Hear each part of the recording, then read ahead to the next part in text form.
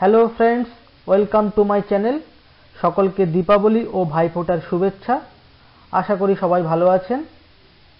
আপনারা জানেন স্যালারি থেকে টিডিএস কাটানোর লাস্ট মান্থ হলো ফেব্রুয়ারি মান্থ অর্থাৎ দু হাজার কুড়ি একুশ ফিনান্সিয়াল ইয়ারের ক্ষেত্রে ফেব্রুয়ারি দু হাজার একুশের মধ্যে টিডিএস কাটাতে হবে। তাই তার আগেই ট্যাক্সের ক্যালকুলেশন করে টিডিএস কত কাটাতে হবে বা ট্যাক্স কিছু হবে কিনা, সেটা আপনাদের সকলের কাছেই একটা চিন্তার বিষয়।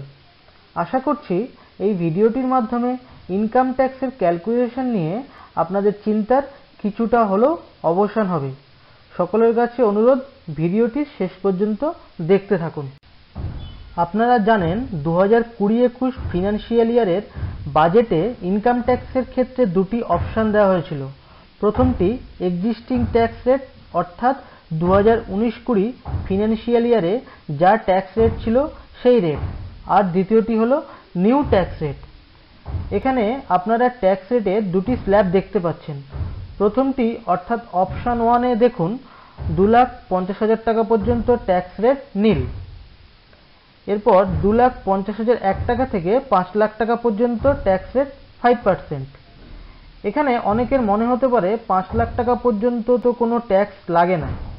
এ প্রসঙ্গে বলি ট্যাক্সেবল ইনকাম যদি পাঁচ লাখ টাকা বা তার কম হয়, তাহলে আপনি সেকশন এইটটি সেভেন এতে ম্যাক্সিমাম সাড়ে বারো হাজার টাকা পর্যন্ত ট্যাক্স রিবেট পাবেন।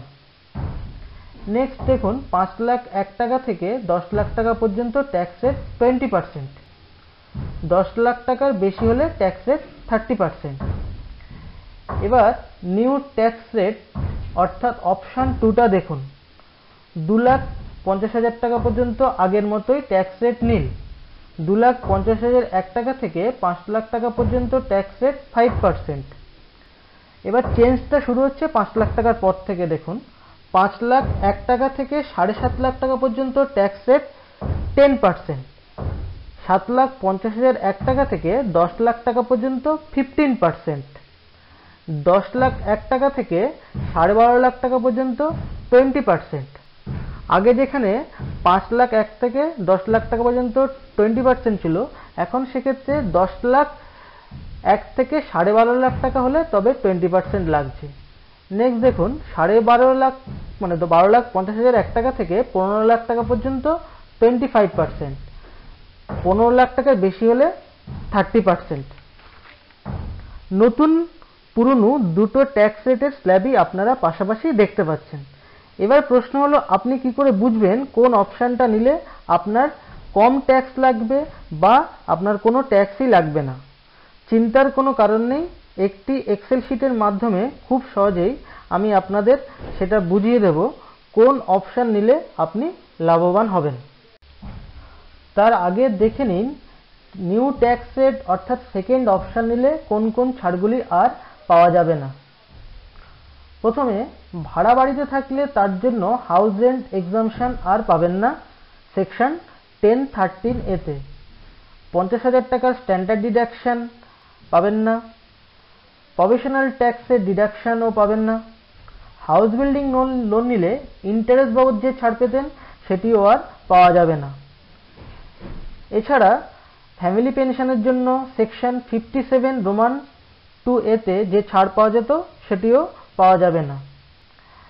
এছাড়া চ্যাপ্টার সিক্স এর সমস্ত ছাড়, যেমন এইটটি সি সেকশনের আন্ডারে LIC premium GPF subscription PPF অ্যাকাউন্টে জমা, সুকন্যা সমৃদ্ধি অ্যাকাউন্টে জমা টিউশন ফিজের ছাড় হাউস বিল্ডিং লোনের প্রিন্সিপাল অ্যামাউন্টে যে ছাড় পেতেন, সেই ছাড়গুলিও আর পাওয়া যাবে না। এছাড়া সেকশন এইটটি ডিতে mediclaim section eighty DD, section eighty DD B, section eighty CC D one B, section eighty জিতে ডোনেশনের ছাড়, সেকশন এইটটি ইতে এডুকেশন লোন নিলে যে ছাড় পাওয়া যেত সেটি, সেকশন এইটটি টিটি এ ও এইটটি টিটি বিতে সেভিংস অ্যাকাউন্টে যে ইন্টারেস্ট ছাড় পাওয়া যেত সে ছাড়াও আর পাওয়া যাবে না। অর্থাৎ নতুন ট্যাক্স রেট অনুযায়ী কোনো ছাড়ই আর পাওয়া যাবে না। চলুন এবার দেখে নিই এক্সেল শিটের মাধ্যমে কীভাবে ট্যাক্সের ক্যালকুলেশন করব।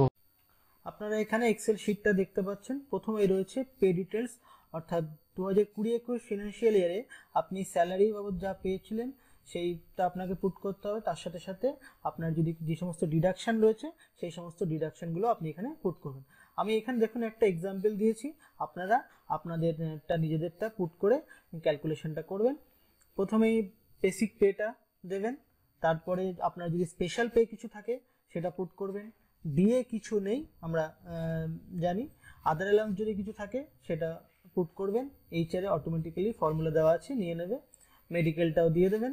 এরপর ডিডাকশান জিপিএফ ডিডাকশান যদি কিছু থাকে, সেটা আপনি আপনার ভ্যালুটা এখানে দেবেন। জেএসএস বা জিএসএলআই গভর্নমেন্ট এমপ্লয়ীদের ক্ষেত্রে জিএসএস আর স্কুল টিচারদের ক্ষেত্রে জিএসএলআই তারা তাদেরটা পুট করবেন। পিট্যাক্স যেটা হচ্ছে সেটা দেবেন। আর মান্থলি স্যালারি থেকে যদি টিডিএস কিছু কাটিয়ে থাকেন, তাহলে সেটা পুট করবেন।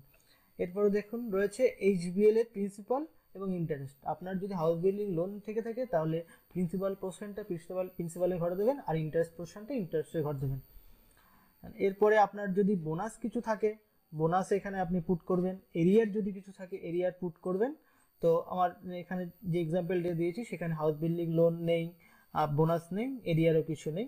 এছাড়া আরেকটা মেইন ইম্পর্টেন্ট আপনি যদি ভাড়া বাড়িতে থেকে থাকেন, তাহলে প্রতি মাসে আপনি কত রেন্ট পে করছেন, সেই ভ্যালুটা এখানে পুট করবেন। তো এখানে তাহলে আমাদের পে শিটটা কমপ্লিট হয়ে গেল। এরপরে আমরা নেক্সট আসব ট্যাক্স সেভিংসের পার্টে প্রথমেই রয়েছে এমপ্লয়ি বেসিক ডিটেলসগুলো আপনি আপনারটা ফিল আপ করে নেবেন। আমি এখানে আর কিছু বলছি না।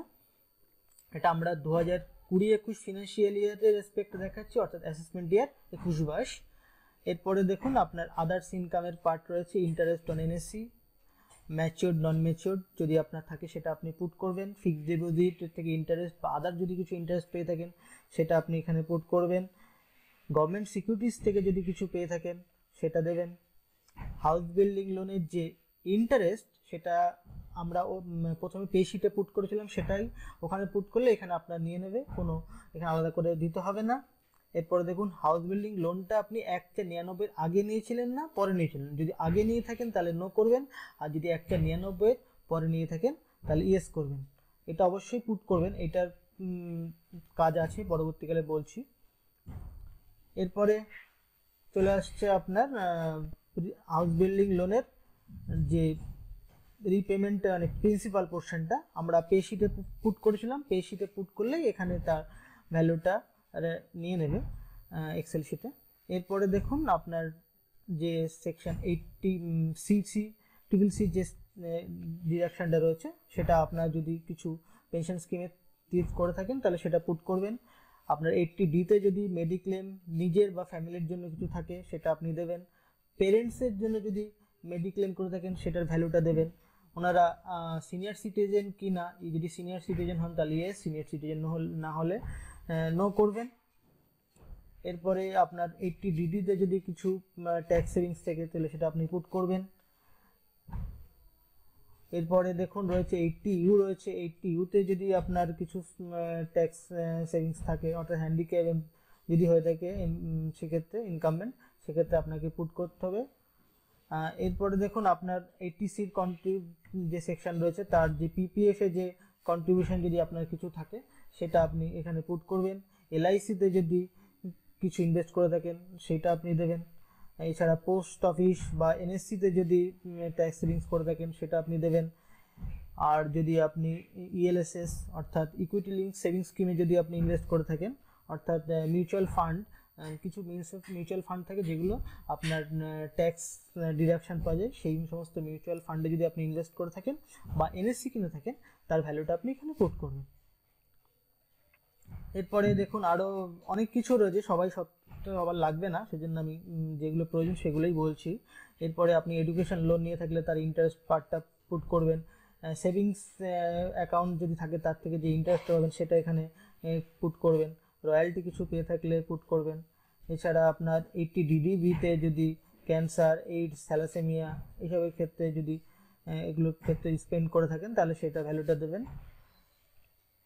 তো এরপরে আর একটা ইম্পর্টেন্ট রয়েছে এনপিএস অর্থাৎ section eighty CC D one B এখানে ম্যাক্সিমাম পঞ্চাশ হাজার টাকা পাওয়া যায়। এখানে যদি কিছু ইনভেস্ট করে থাকেন, সেটা দেবেন। এখানে যে এক্সাম্পলটা দিয়েছি, ওনার ছ হাজার টাকা এইটটি সিসি ডি ওয়ান বিতে রয়েছে। এরপরে দেখুন টিউশন ফিস যদি কিছু থেকে থাকে, সেক্ষেত্রে আপনি টিউশন ফিসটা দেবেন।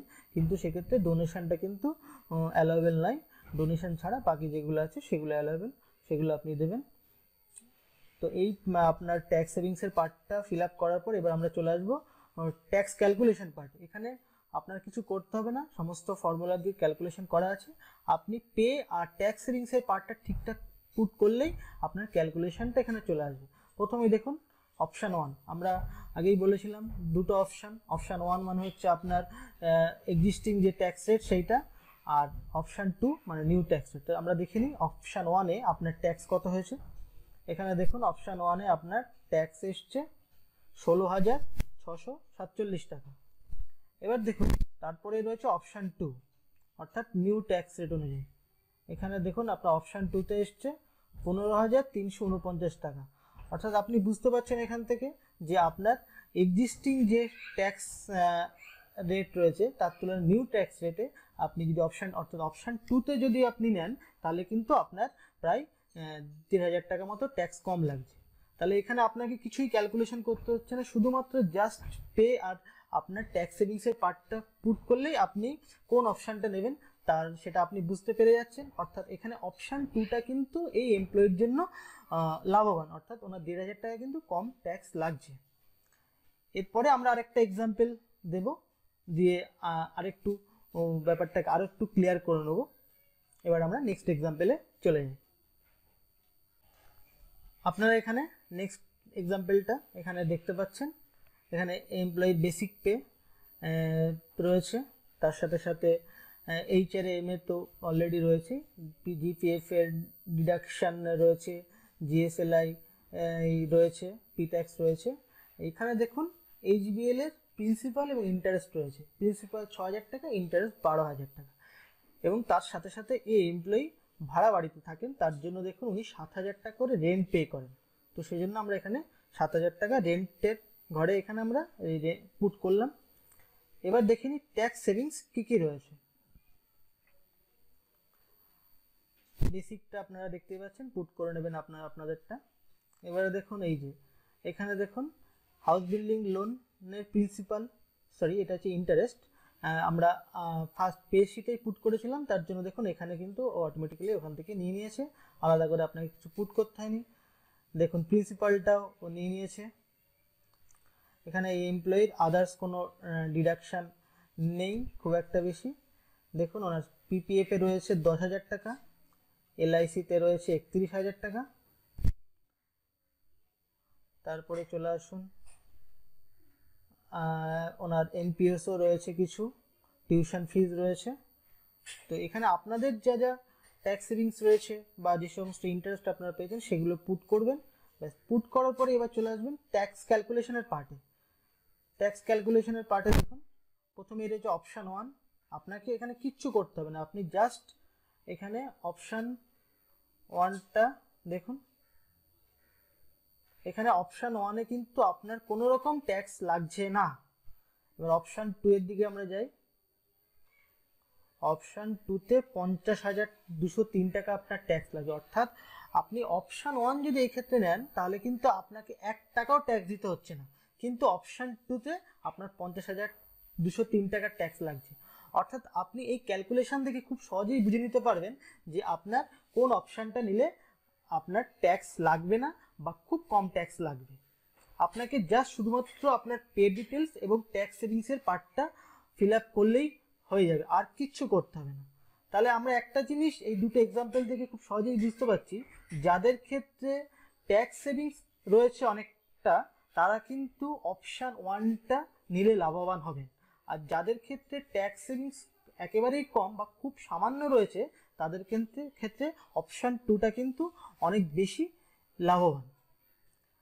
এই ভিডিওটা যদি আপনাদের ভালো লেগে থাকে, তাহলে আমাদের চ্যানেলটি যদি সাবস্ক্রাইব করে না থাকেন, তাহলে এখনই সাবস্ক্রাইব করুন আর শেয়ার করুন লাইক করুন কমেন্ট করুন।